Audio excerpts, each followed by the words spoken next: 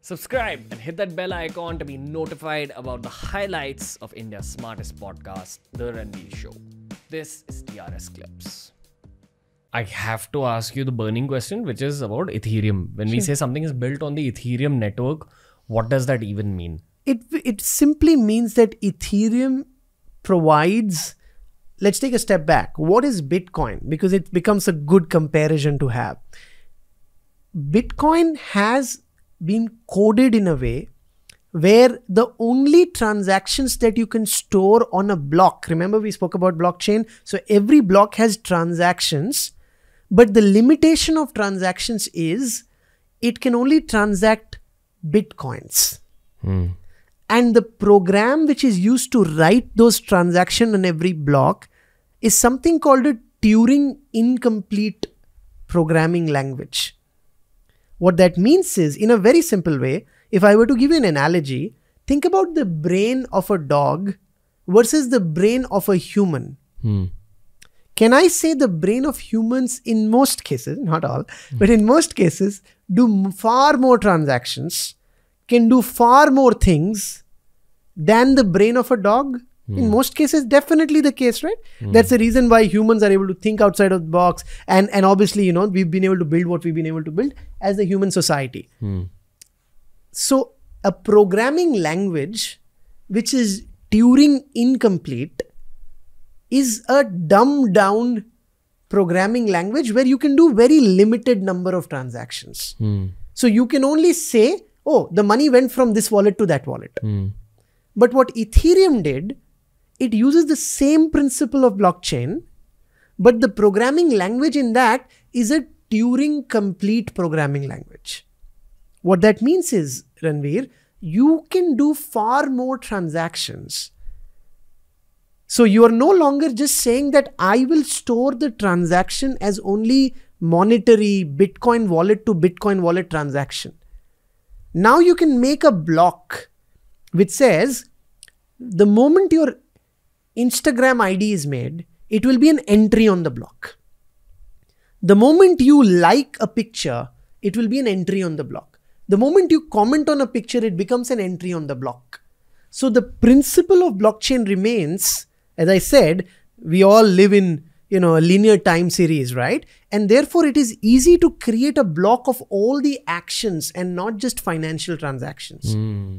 So what Ethereum allowed developers to do is to give a programming language where you can create programs on the blockchain technology and that program can be anything. It can be calling your Uber. It can be ordering a pizza. It can be going ahead and storing all the land records which are out there. Because again, land records, think about it, right? The land will start from somebody's ownership, will go to somebody, and then go to somebody, and then go to somebody. These can all be transactions. Why not just use the old school languages to build this? 100% you can absolutely do it. The fundamental problem of old school languages is today uber knows exactly how many times you take a cab from where you start to where you go what are the places you are visiting at what times. If you think about it again i'm trying to say and people don't realize this that and, and a lot of people are like oh what do i have to worry because i don't have anything to hide? No i would go to the point of saying the future is where based on the behavior of people you can predict how will they react in a particular situation. I'll give you a small example. If a mobile app which is a you know let's take an example of something which uh, you call it cab from. Do you know this? If it has an permission to listen to your microphone it can listen to you anytime it wants. It doesn't need to ask you. Hmm. Imagine if i am the maker of the app and i'm listening that every time i see ranveer shouting getting very mad or if i don't want to be hearing it also i see every time you throw your phone because you know a lot of people when they get angry they throw the phone wherever you know the moment you throw the phone i don't even need any permission based on just the sensors within the phone which is the accelerometer and the gyroscope etc etc i can figure out that somebody's just thrown this phone every time you throw the phone between 6 to 7 pm you end up at a bar at 8 pm And I know that's the obvious place that you will always go. Every time I've spoken a word, it triggers some part of your brain and you will become mad at it. Hmm. Do you know you become like a puppet in my hand? Because I know exactly how you will respond.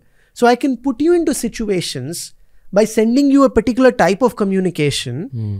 to make you vote for me, to make you behave in a particular way. To make you hate a certain group of people. absolute anything. So hmm. not only hate even fall in love. So you get this fanatic group of people who are oh i'm in love with this particular person. I'm in love with this particular group. So that particular way of thinking it's almost like you know you're coloring the eyes of the person to only see a particular thing. And i can do that quite easily the moment i have more data about you. So again, the logic of building software using Ethereum protocols is anonymity. yes. Like that's the core logic. that's the core of web 3.0 and hmm. that's much bigger than what people realize. Because human behaviors, mindsets, Are happiness is getting affected by like Web 2. 100% and here's the point right because it becomes predictable of what you're doing to manipulate you becomes the easiest thing. And it's not just about you clicking on ads. That's one of the smaller problems right? I mean that's not the big deal. The bigger deal becomes when you're making i mean you can choose a president who would not be in the best interest of the country but there was a different country who would run a propaganda. By the way this is a live documentary. It was actually a great ted talk uh, which actually showed systematically during brexit communities of people who were systematically given a particular type of information to say oh europe is very very bad for the uk and therefore i need to go ahead and uh, come out of that because it's so bad for our economy while the truth was exactly the opposite. So you're talking about changing the course of history as we move into the future because of just being able to track human beings and do that at scale not at an individual level So again, I want to ask you from a visualization perspective. Ethereum is a blockchain. Yes, One it is. chain, lots of blocks, Yeah. data stored on it. Yeah. When we say some, when we say something is built on Ethereum Yeah. or on the Ethereum network, what's the visualization of it? So I would say, don't say uh, Ethereum is a blockchain. I would say Ethe- think of Ethereum more like uh, a framework Hmm. which allows developer to build something on top of it. What does a framework mean? Framework basically means uh, the framework of the shoot we are doing right now is microphones and cameras and lighting and the background Tools. tools, but you can do whatever content you want with this. Hmm. So you want to do something on cybersecurity, you want to do something on personal wellness, that's on you. The framework becomes basically the foundation on how will you do it. Guess what? Every podcast of yours will have the same mic, Hmm. right? It will have the same quality of voice on how you're processing it because the framework is the same. But what you build on top of it is completely your call.